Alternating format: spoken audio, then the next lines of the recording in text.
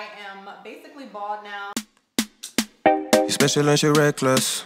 MB, you're my bestest friend. Yeah, she my bestie. Okay, so I've adjusted my camera angle down so that you can see the construction of this unit. Here is everything I'm going to be using. So the first being this 22 inch blockhead, which I purchased years ago. So if you are planning to be in the wig making business and you want to make wigs that are a lot more secure and a perfect fit for you, then I highly encourage you to invest in a blockhead.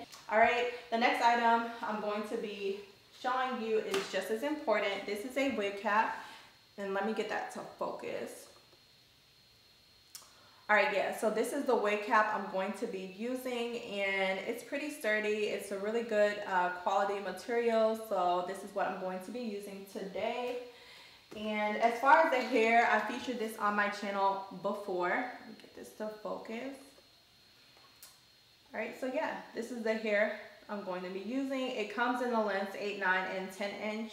So this should be a really fun unit to construct with this hair. Now the last two items is a normal crochet needle.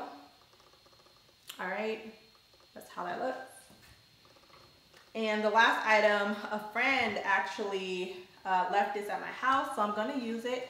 It's in the color gold. It's just gonna help me mark the front of my units to make sure that I differentiate between the front and the back of my unit because the last thing you wanna do is construct an entire unit and you don't know which way was the front and which way was the back. All right, so this is just gonna be my marker. All right, so that is the complete list of items let's get to constructing this time. What I'm gonna do first is take out the crochet cap. All right, let's see. And this is how it looks. So, just gonna put it on and figure out how I wanna put it doesn't really matter. All right, so we're just gonna put it just like that. Now it has a little kind of like marker here to mark the back. So I'm just gonna take my gold pencil and just bring that up. So that's another way you can know the back as well. And this is the front of my unit. All right, so that's how the cap is looking. And for the front, just put in three lines. All right, three lines. All right, so that's the easy part. Now let's get into the hair, which I'm just gonna pop it open. Okay, so here are all three bundles together. This is the 8 inch, the 9 inch right here, and the 10 inch. Okay, all right, so here is our 8 inch bundle. So I'm just gonna take that out. I mean, I could use some scissors. That would make it a lot easier, but we here now. So I'm just gonna go ahead and I'm to show you guys here. So I'm just to take it through about four or five loops.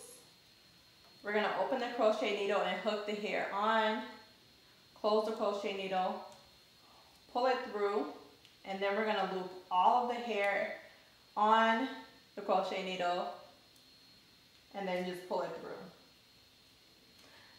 Now, you know what? With this hair being as kinky as it is, I think I'm going to go with another method when it comes to pulling the hair through.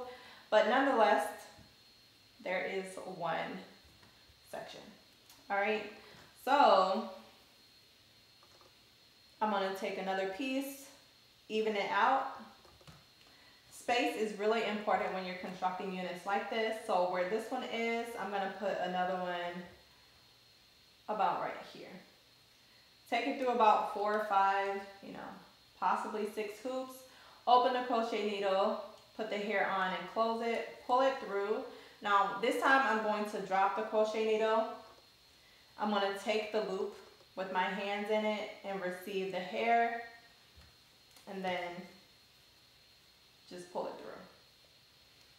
All right, so remember spacing is important because you can go back and fill the gaps, but if it's too close, then you're just gonna have to remove hair, which will take more time. So I'm gonna keep going with this eight inch.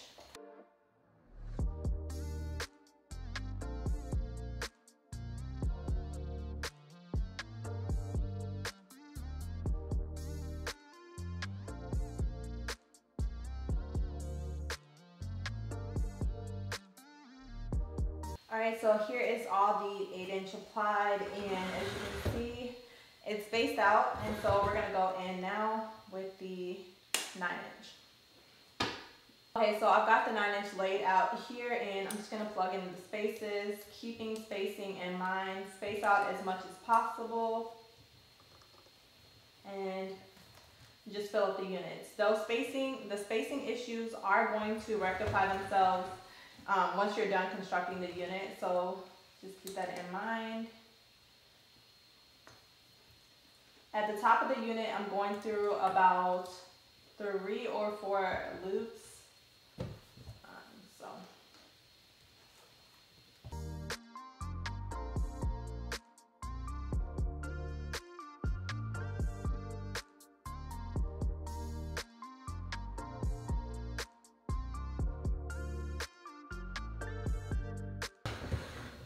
Okay, so now that I went around the perimeter with the nine inch, what I'm gonna do is basically assess whether I need to fill in um, a couple more areas. So this top should be able to be covered with the last bundle. So I'm just gonna focus on um, plugging in some holes that might be a little too wide, okay?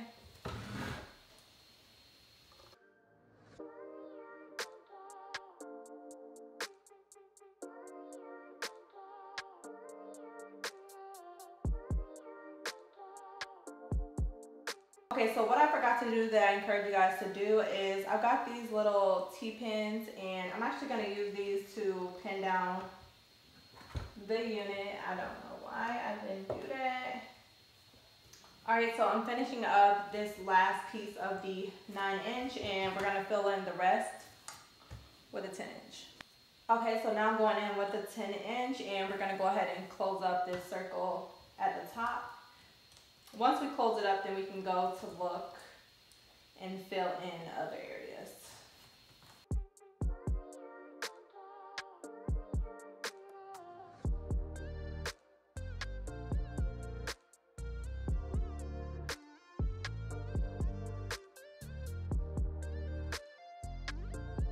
Okay, so I am done applying the 10 inch bundle and I pretty much closed everything up by applying a bunch of close pieces right here in the middle. Now you are still gonna have some areas where you see some spacing, but that should disappear once you actually apply the unit. Now for me, I'm not gonna be applying this unit with combs. Otherwise, I would add some combs to this unit. You can uh, use my link down below to get the wig combs that I would typically use.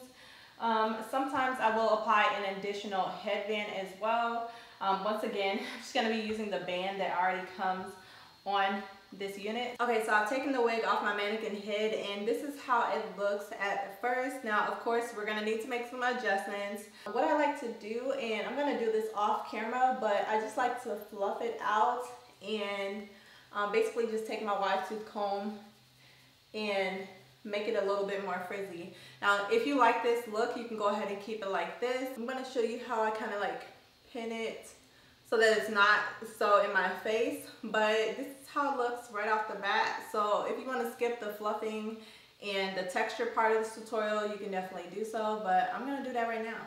Okay, so here is the wig once again. What I'm to do first is kind of split the hair so I can have about five sections. So let me go ahead and section off the hair first.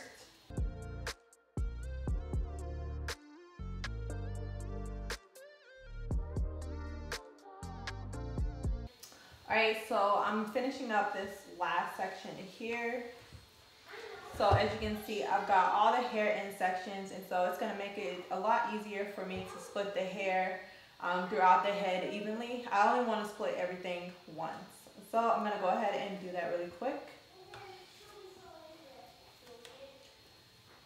All right, so let's add some coconut oil, spread it on our hands, and split split the hair into two.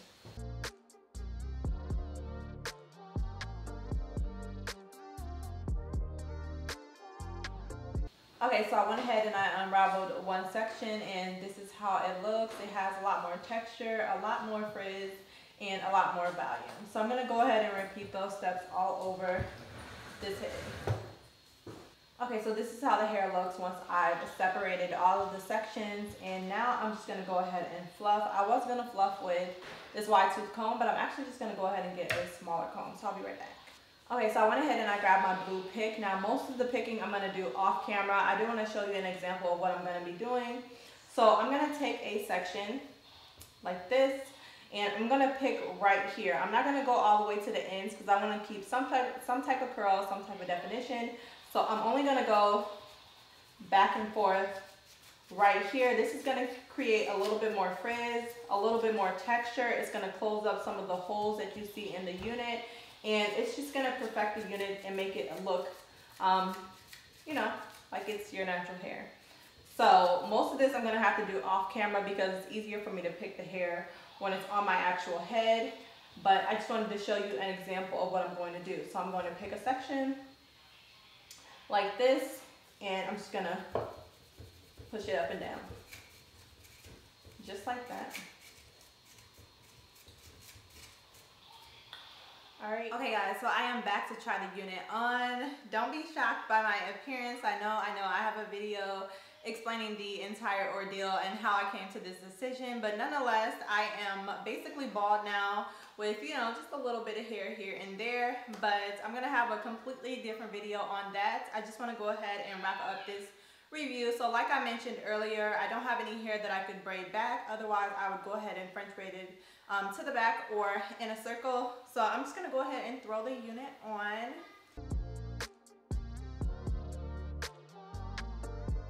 Okay, so I went ahead and fluffed and shaped the wig to my liking. So this is how it is looking. Of course, I can go back and fluff and cut wherever I need to. But I wanted the hair to go right to a bob length. So that is where it is right now. So I lost a little bit of definition in the back, but I still have a couple of ringlets back there. And if I wanted to add some additional texture, I could do that myself by just applying some small blue perm rods and bowling them and, you know, just re um, curling those un the unit in the back. However, that's unnecessary for me. I'm just gonna keep it as is and rock it just like this. So I love the texture, I love the volume. And what I did in the front is I actually used some bobby pins, all right? And I just pinned up the front by pulling up a little bit of the hairs right at the bottom. So pull it up, pin it in place. Pull it up, pin it in place. And once you take the unit on and off, those bobby pins stay in place so that you are able to continuously wear the unit without having to readjust, you know, the bobby pins.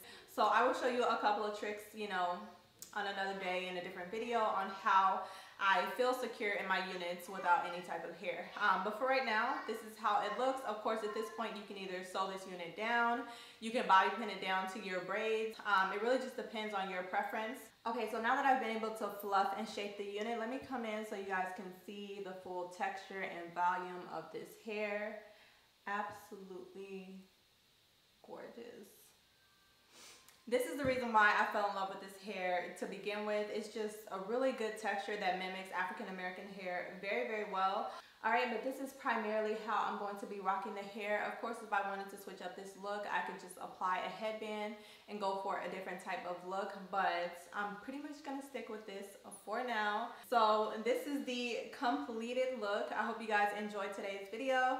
I know seeing my bald head was a surprise, but you know, we're gonna talk about it we're gonna talk for sure. All right so i think i pretty much covered everything in this video. If you guys have any questions you already know to leave them down below. Subscribe to my channel if you haven't already and i will see you guys in my next one. Bye guys